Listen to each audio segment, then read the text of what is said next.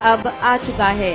अब मैं माननीय प्रधानमंत्री श्री नरेंद्र मोदी जी से सादर अनुरोध करती हूँ कि वे अगरतला के नरसिंहगढ़ में स्थित त्रिपुरा इंस्टीट्यूट ऑफ़ टेक्नोलॉजी के नए परिसर का उद्घाटन करें।